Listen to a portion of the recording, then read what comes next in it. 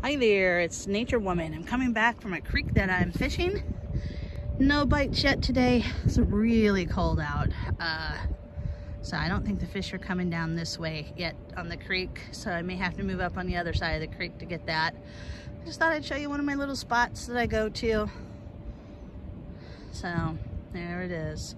Well, anyway, thank you for watching. Please like, subscribe, and hit the thumbs up. And don't forget to hit the bell notification.